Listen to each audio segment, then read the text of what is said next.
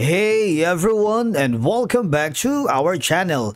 In today's video, we are going to show you how to integrate Airtable with Notion. Let's begin. Now, the first thing that you need to do is to log in using your credentials. If this is your first time in Notion, I want you to click the sign up option. And from here, just follow the on-screen instructions and you're good to go. Integrating Airtable with Notion can help you combine Airtable's powerful database capabilities with Notion's flexibility as a workspace for project management, note-taking, and more. Since there is no direct integration between Airtable and Notion, don't worry because we are going to use several methods to bridge the gap. Now, once you are logged into your Airtable account, if you hover to the upper right corner in integrations, you see, if you go to the connect new account, Notion is not part of the native integration or a built-in feature here on Airtable. Similarly, if you go to the if you go to the Notion integrations, click the browse integrations marketplace, and if you search the Airtable here, as you can see, Airtable is also not a native integration for Notion. Okay, don't worry, we got you because now this is one of the best platforms for direct automation and that is using the Zapier. Here you can connect Airtable to Notion and automate your work by connecting these apps and have all this endless possibilities. If you haven't already, you might want to click the sign up button and I'm going to rename the Zap.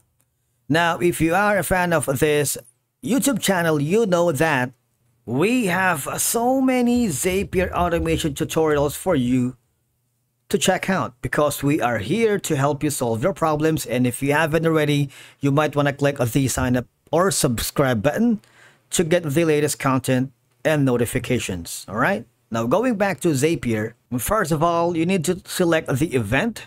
Now you can choose any of these two options would you like to choose the uh, option number one, which it triggers when a record is created or updated, or it triggers when a new record is created?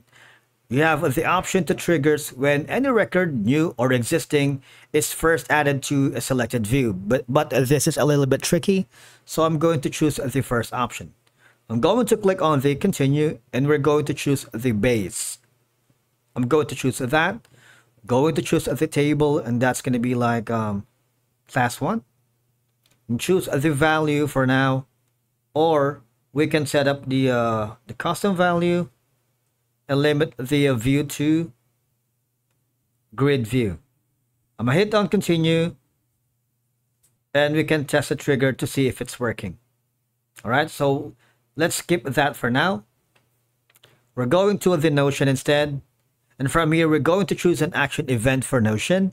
Are you going to choose that it adds content to a page or creates an item in a database or creates a page inside a parent page? So it's all up to you.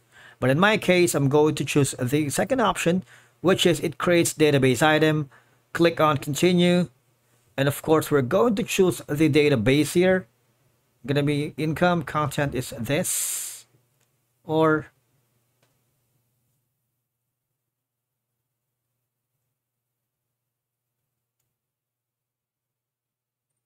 name amount is maybe uh 2000 content format is going to be a uh, plain text. I'm gonna click on continue.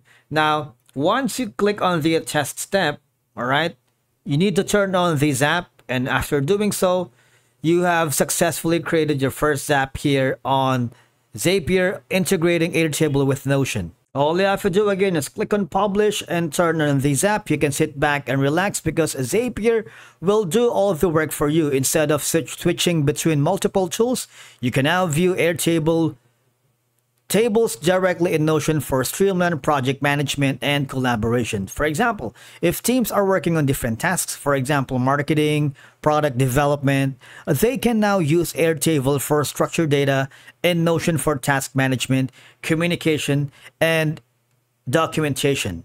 Now, this integration bridges these tools, improving team collaboration. All right. And as you can see, the Zap is now uh, live and it's using version 1, all right? You can now embed live Airtable views in Notion pages so that team members have real-time access to important data without leaving Notion. Now, the next option that we are going to explore is now another popular platform for integrations here in Airtable and Notion is going to be using Make.com. If you haven't already, just go to www.make.com and have this effortless boost productivity automation workflow. Now, similarly to Zapier, all we have to do is select the trigger.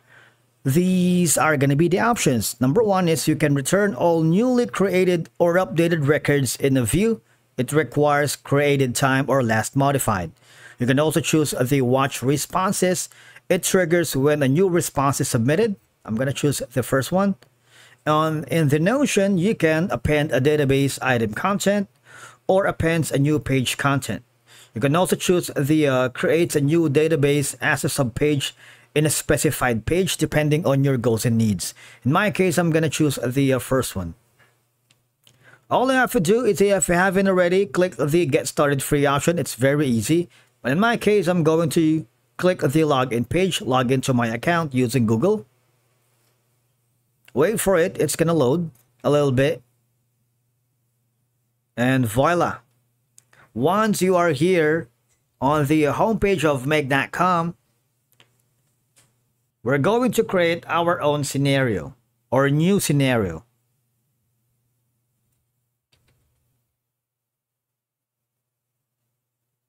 We're looking for Airtable here. It triggers when a new response is submitted. Choose a hook. Click that. The next module is going to be, of course, Notion. Type it in. When you see that the verified, that's going to be it. Now, I wanted to choose the second one. It creates a new item in a database. Click that. And of course, we're going to enter the database and ID or enter it manually. All right, for example, it's going to be this.